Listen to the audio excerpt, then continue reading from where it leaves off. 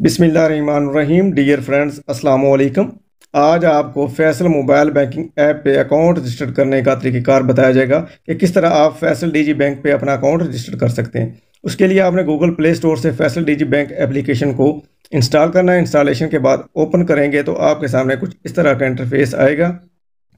इस इंटरफेस पे आपने लॉग इन पे क्लिक करना है तो आपके सामने नेक्स्ट पेज ओपन होगा। इस पेज पे आपने रजिस्टर नाउ पे क्लिक करना है।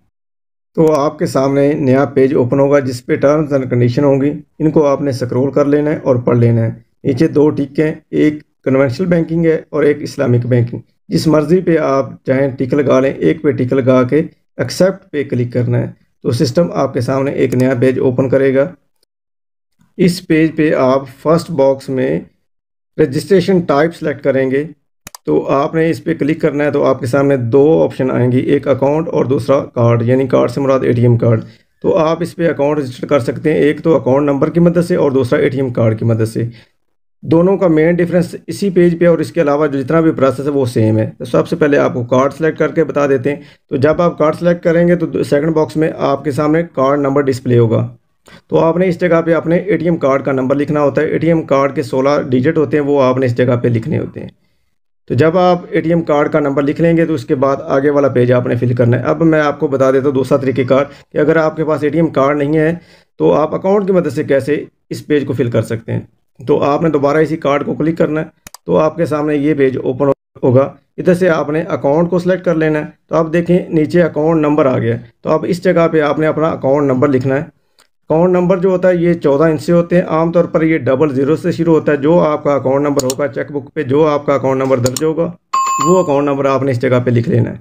इसके बाद जो बाकी तरीक़ेकार है, वो एटीएम कार्ड और अकाउंट का सेम है। थर्ड बॉक्स में आपने सी लिखना होता है।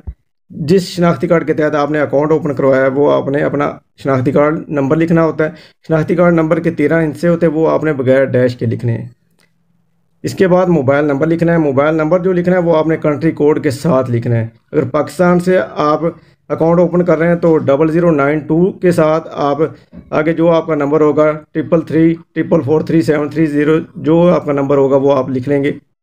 मोबाइल नंबर के बाद आपने डेट ऑफ़ बर्थ सेलेक्ट करनी है। तो आपने डेट ऑफ़ बर्थ वाले कलम को टिक करना है तो आपके सामने इस तरह डिस्प्ले होगा। जैसे आपने ईयर को क्लिक करना है तो आपके सामने ईयर की लिस्ट आ जाएगी।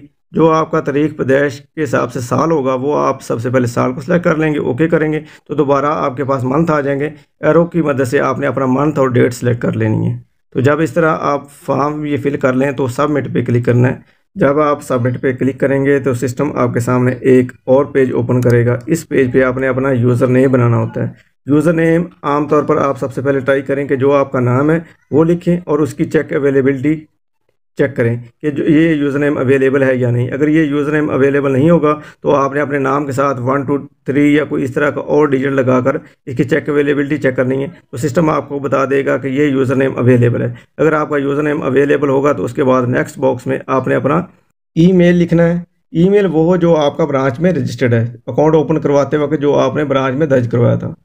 उसके बाद आपने नेक्स्ट बॉक्स में आपने अपना पासवर्ड बनाना होता है। पासवर्ड के लिए रूल ये कि ये अल्फ़ा नमेरिक हो, इसमें स्मॉल लेटर कैपिटल लेटर और डिजिट ये तीन चीज़ें इसमें शामिल होनी चाहिए। और special letter at the rate of वगैरह, ये भी आप इसमें लगा सकते हैं।